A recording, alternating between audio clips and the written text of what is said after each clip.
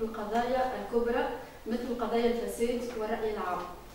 زد على ذلك مبدأ آه، تكريس الشفافية والحق في نفاذ المعلومة اللي كان مكسب من مكاسب الثورة هذا الكل باش يدعونا هذا باش يدعونا في هذا المجلس للدفاع عن ضمان البث المباشر للمحاكمات الكبرى والتي تؤثر على الرأي العام. آه، هذا الحق سيضمنه مرسوم حكومي.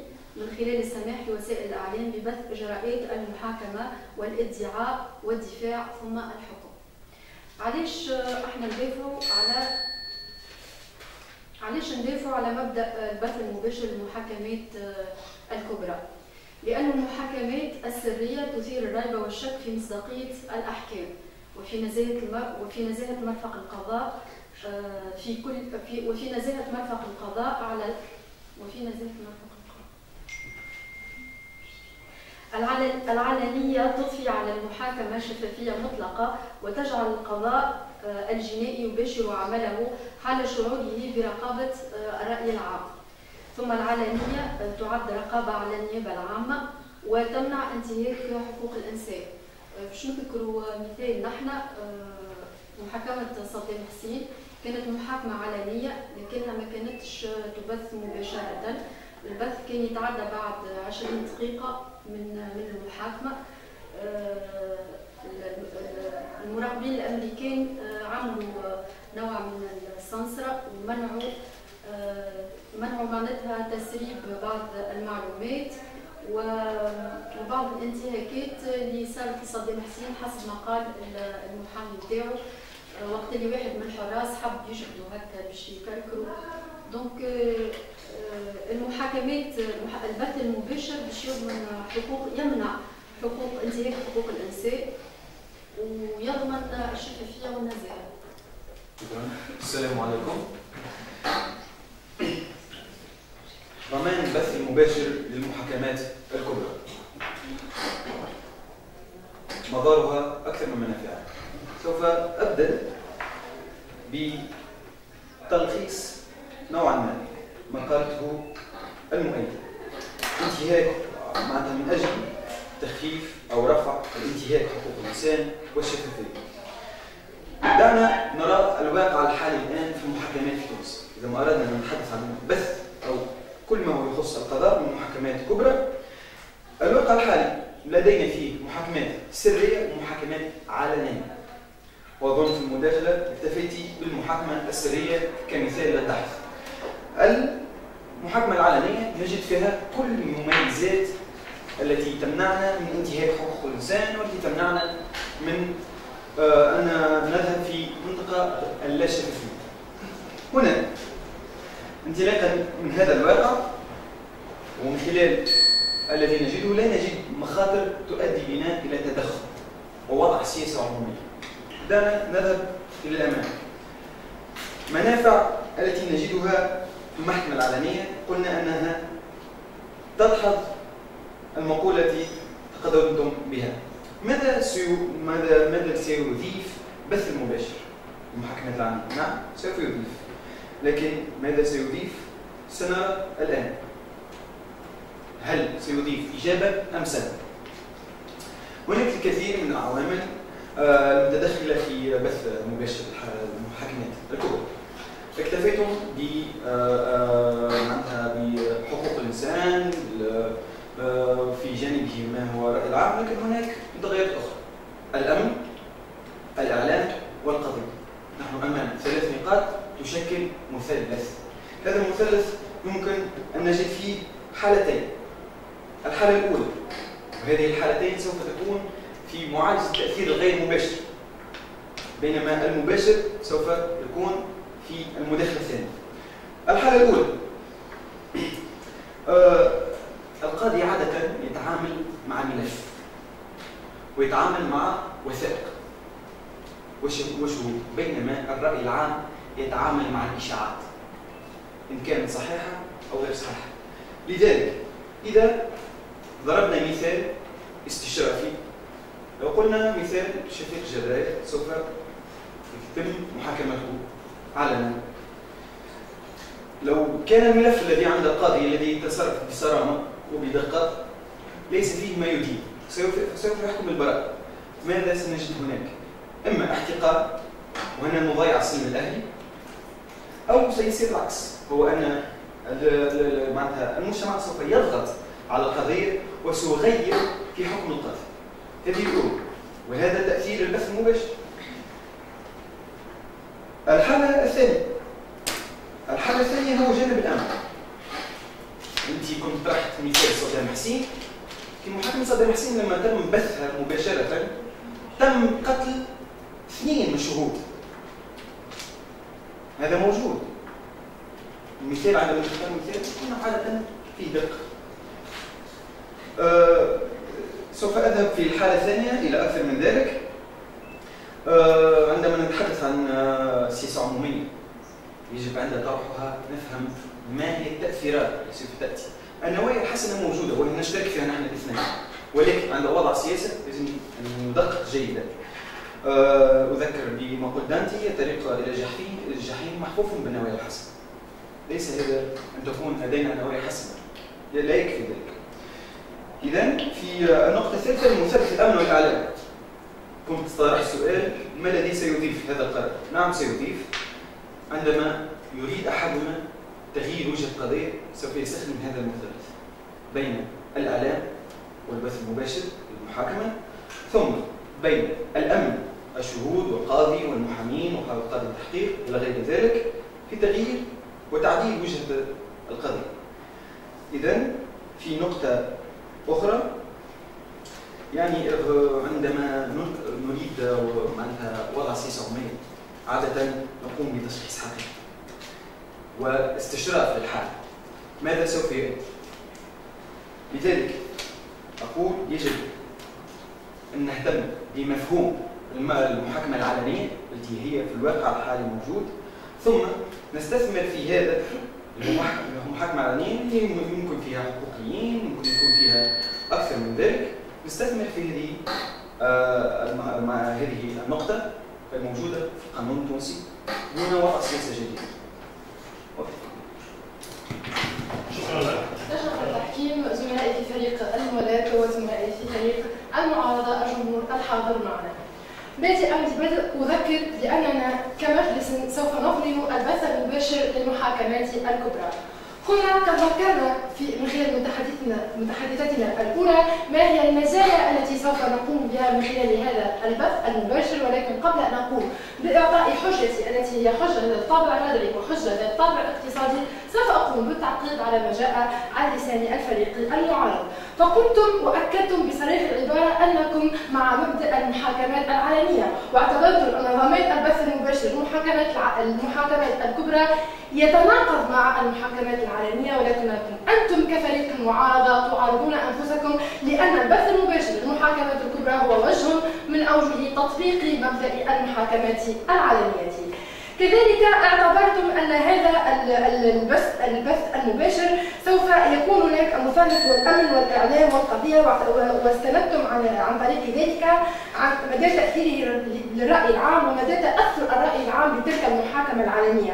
ولكن المطلوب هنا اليوم وما جعلنا اليوم نطرح هذه القضية هو ضرورة أن يتأثر ذلك أن يتأثر الرأي العام وان يكون الرأي العام حاضر في تلك المحاكمات العالمية وأن يكون له رأي فيها ولكن مسار العداله سوف يذهب ان هناك قاضي هناك لسان دفاع هناك شهود هناك قضية كاملة وهناك هيكل قضائي كامل. هو الذي سوف يهتم وهو الذي سوف يمنع أي حالة احتقان أو غيرها. كذلك تحدثتم عن أن الاعلام من شأنه أن يستغل هذه الفرصة ويعدل وجهة القضية. ما دخل البث المباشر للمحاكمات الكبرى واستغلال الاعلام اذا أراد الإعلام أن يستغل قضية معينة سوف يستغلها من خلال الصحافة المكتوبة سوف يستغلها من خلال مواقع التواصل الاجتماعي ولا نرى أي علاقة بالبث المباشر للمحاكمات الكبرى ودور الإعلام في تعديل وتغيير مسار مسار القضية. أعيد اكرر أنكم تناقضتم بتسليمكم الإبقاء على المحاكمة العلنية وهناك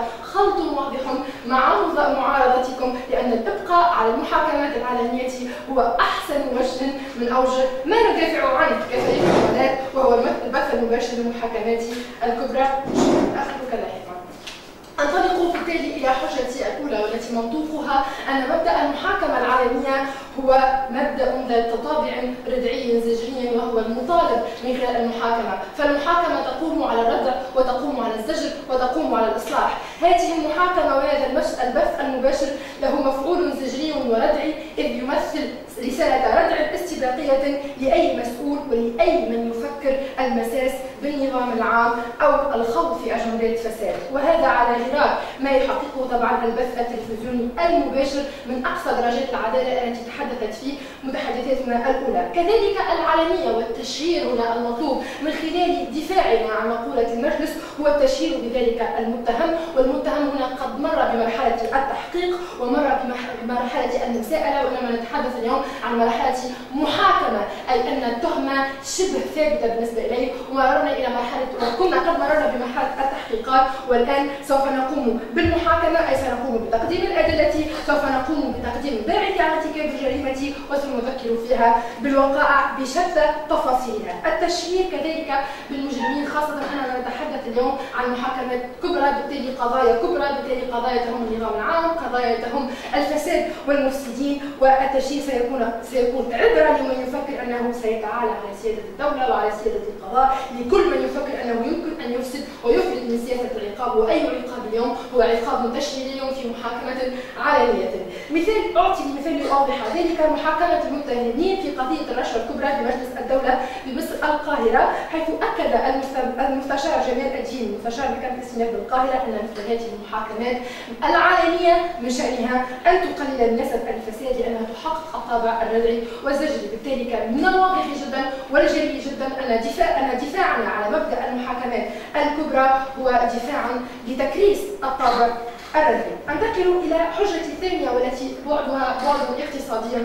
بحت فالبث المباشر لمثل هذه المحاكمات الكبرى وخاصة أن كلنا في تعريف ماذا نقصد بالمحاكمات الكبرى هي المحاكمات التي تكون تحتها قضايا تمس الرأي العام. قضايا من شأنها أن تثير ضجة من شأنها أن تثير كذلك فرصة لوسائل الإعلام من تحقيق عائد من هذه من بث هذه القضايا العالمية التي تتسابق الفضائيات العالمية وغيرها لشرائها وبث هذه المحاكمات خاصة أنه قد توجد محاكمات وقضايا دولية أي يتداخل في أطرافها العديد من الدول بالتالي هذه فرصة لا محالة للقنوات الوطنية لبيع ولتسريب هذه هذا البث المباشر المباشر مما سيعود بالدخل ايجابا على طبعا على وزارة العدل وحتى على خزانة الدولة بحد ذاتها كذلك المنظمات العالمية سوف تعطي صورة إيجابية على وجود محاربة خاصة إذا كان إذا كان في قضية فساد أو قضية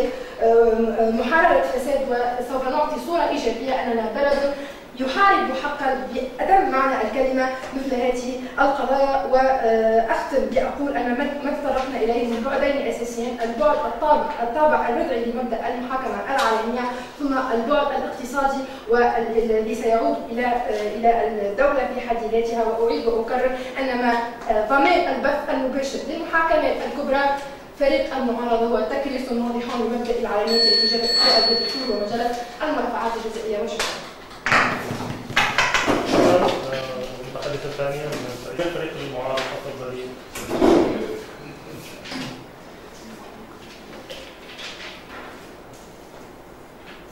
زملاء فريق المعارضة زميلي فريق الموالاة لجنة التحكيم الموقرة جمهورنا تحية طيبة قالوا قالوا أنهم يسعون إلى نوميل حقوق الإنسان عبر البث المباشر إن يا سيدتي احترام وذميل حقوق الإنسان يتم عبر قوانين وعبر منظمات تسعى لمراقبة هذه الحقوق وليس عبر بث المباشر ولا أي علاقة بين هاتين. ثم تحدث تحدثوا أيضا عن تأثير الرأي العام في تحديد القضية. أن الرأي العام يشكل ضغط على قضية ما أو إلى الدفع لأن نتحدث عن محاكمة ما وليس في صنع القرار. لدينا قضاء لدينا أدلة لدينا شهادات أن نعود إليها ولدينا قانون ليس رأي عام. وكما تعلمون الرأي العام يمكن أن يتسرب فيه الإشاعات وإن الرأي العام بالهذا ثم نحن كفريق معارضة نشد على تحقيق العدالة وليس على مداخيل اقتصادية تعود عبر الإعلام لدولتنا. نحن كفريق معارضة نعارض وبشدة البث المباشر للمحاكمات الكبرى لأن من شأنه أن يؤثر تأثيرا مباشرا على سير المحاكمة وعلى على قرار القاضي ذلك أن البث المباشر ووجود الكاميرا خلال المحاكمة سيؤثر على أفعال وأقوال وتصرفات الشهود خاصة في القضايا تهم الرأي العام كقضايا الفساد وقضايا الانتهاكات وقضايا الصبغة الأمنية والسياسية. ونحن في تونس ما بعد الثورة ونسعى إلى دعم الانتقال الديمقراطي وتحقيق العدالة الانتقالية كذلك هنالك من القضايا ما لها من الحساسية والأهمية ما يضفي عليها صبغة السرية كإدلاء الشهود التي تعتبر أهم دليل وجزء في عملية الإقرار وصنع القرار القضائي.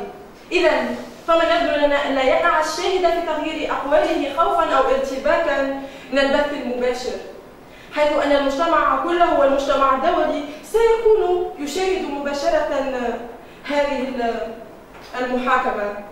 مما يشكل وسيلة ضغط نفسية سلبية على الشاهد ونحن كما نعلم أن كمجتمع تونسي ما بعد ما علينا في فترة سنوات الجمر وحاليا يمكن التونسي أن يبدل أقواله وخايف على روحه. يقعد يقول أنا عملت ولا مع هذاك ولا عملت هكا يبدل باعتبار سكوت هذا فيه وسكوت تعرفوا وهذه حجة تفضل.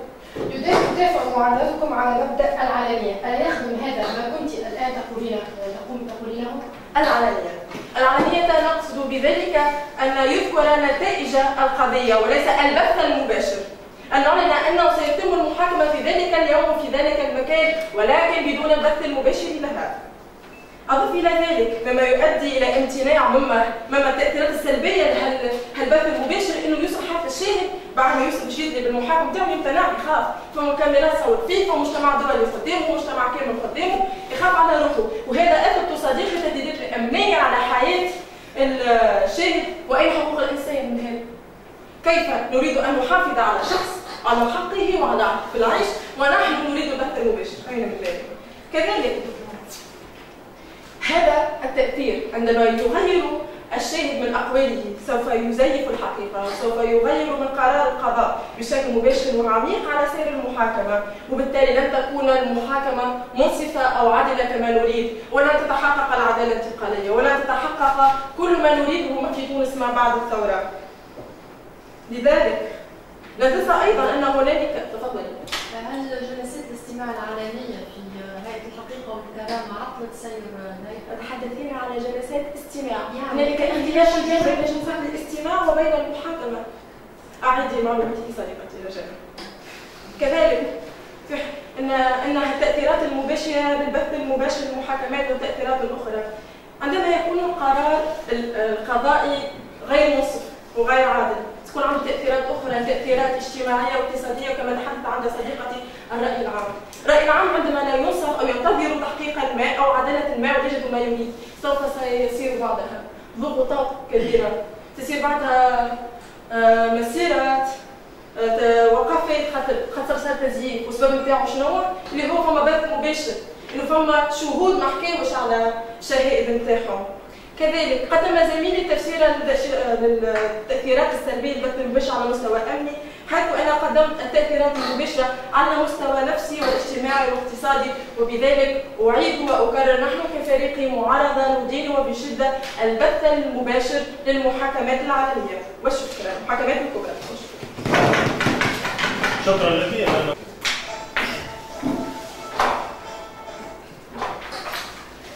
شكرا. شكرا للفريق الموي شكرا لزميلتي. أه، سيدي الرئيس ماذا يمكن ان نستخلص من هذه المداخله؟ هناك خطا تقني وقعت فيه الاخت وهو خلط بين المحاكمه العلنيه المحاكمه العلنيه والبث المباشر. المحاكمه العلنيه هو عندما يتم المداولات بين القاضي والشهود والمحامي يكون هناك من يجلس يستمع لهذه المداولات وهو ليس بث مباشر على على على على الكيانات الاعلاميه وهنا قلت يمكن أن نستفيد من كل النقاط الإيجابية التي هناك في منافع من البث المباشر دون أن نضع أنفسنا في المخاطر التي ذكرناها. لأن أبرز المخاطر والنقاط التي ذكرناها هو الجانب الأمني ثم سير القضية والتأثير على سير القضية.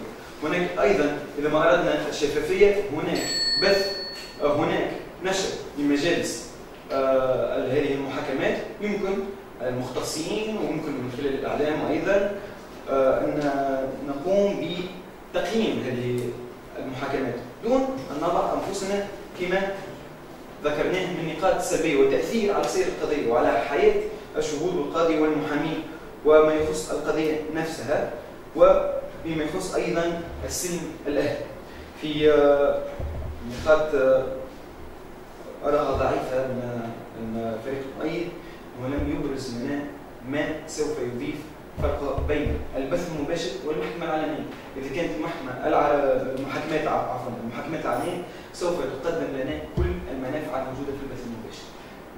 وعندما نضع سياسة يجب أن يكون لدينا استشراف ما هو أين أين المخاطر التي سوف نرفعها. المحكمة المحاكمات العلنية ترفع المخاطر التي ذكرتموها عن شفافية عن حقوق الإنسان عن غيره.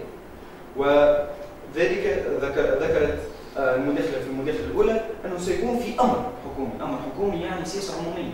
سياسة عمومية أين هنا الفرق بينها وبين السياسة العمومية التي هي موجودة في أرض الواقع وهنا أتحدث عن المحاكمات العلنية مرة أخرى.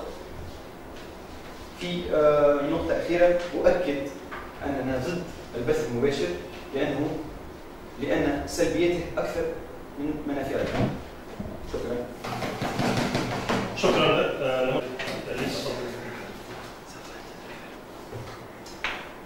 نؤيد فكرة آه، ضمان البث المباشر للمحاكمات الكبرى. آه، وذلك لضمان مبدأ الشفافية اللي هو مش مضمون في المحاكمات العالمية اللي تخضع للمونتاج والتركيب وإخراج وسنسرة كما صار في بعض المحاكمات الدولية نرجع نقول محاكمة صدر آه، وزاد لإعادة الثقة بين الثقة بين المواطن التونسي والقضاء.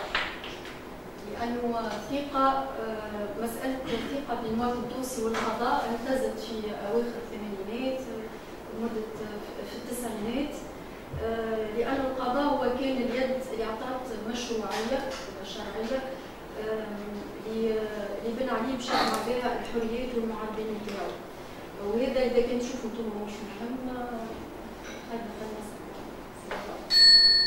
الطابع بالنسبة للطابع الردعي هو مهم جدا زادة.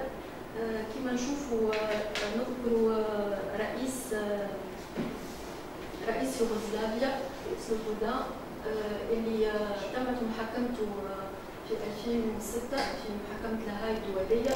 ومات في وقت السجن. اللي فيها ردع نفسي كبير لل يعني للزعماء واللي باش يبنوا الشعوب ولا يعملوا لهم عبادات عرقية وإلا دينية. بالنسبة للجانب الاقتصادي ذكرت زميلتي إنه معناتها فما عائدات مالية اللي هي تقدر في بعض الأحيان بعشرات المليارات من الدولارات. معناتها ماهيش عائدات قليلة نتاع البث المباشر. زاد خلق استثمار خلق مناخ ديمقراطي يجلب بعض الاستثمارات. لأنه كما تعرفوا انه المستثمرين الكبار ما يجيوش يستثمروا في بلدان تعيش perturbations politiques بالنسبة لحقوق الإنسان يعني أين انتهاك حقوق الإنسان في البث المباشر؟ توا وين ترى في حقوق الإنسان؟ بالعكس في حفظ لحقوق الإنسان. يعني الناس الكل باش تكون تحت رقابة الرأي العام. العالم الكل قاعد يتفرج. قلت اللي ما بعد المحاكمة باش تصير فوضى. يعني أعطيني محاكمة خضعت للبث المباشر وصارت فيها فوضى بعد. بالعكس المحاكمات العالمية اللي ما تمش بثها مباشرة كما محاكمة ساطي حسين الناس الكل شكت في في حكم الإعدام من حتى الموت. الناس الكل شكت شكت في في السمسرة والقصانة اللي صار فما exemple هو مش نتاع محاكمة لكن نتاع عماد الطرابلسي اللي جلسات جلسات الاستماع الكل اللي صارت في هيئة الحقيقة والكرامة. كانت جلسات مباشرة مست مباشرة المواطن وأضفت مصداقية على الكلام اللي قاعدين يقولوا فيه. بالنسبة لجلسه الاستماع بتاع عماد الطرابلسي كانت مسجلة ما كانتش مباشرة. وخضعت لبرشا سمسرة حسب ما قالوا المتابعين والمحللين فما كانتش جلسة صادقة برغم هي جلسة علنيه يعني هذا الفرق ما بين الجلسه العلنيه آه، والجلسه اللي تخضع العلنية اللي تخضع لبث مباشر تعطي آه، تعطي مصداقية أكثر وتضفي طبع نزاهة وشفافية على القرارات الصادرة زاد القرارات اللي باش تصدر بعد المحاكمة ليش باش تكون قابلة للطعن لأنها كانت كانت مباشرة. تفرج فيها الراي العام الكل. حبيت نذكر ان تقليد نقل المحاكمات الكبرى بدا في أمريكا سنة 1996 وقت اللي لاعب كرة قدم اوجي أه، قتل مرته ولاعب محبوب برشا ويحظى بشعبية كبيرة. المحاكمة أه، نتاعو كانت علنية وأثبتت في الآخر البراءة نتاعو. يعني التقليد هذا من عام 96 في أمريكا وإحنا في 2017 مازلنا نناقشوا في البث المباشر سلبي ولا مش سلبي؟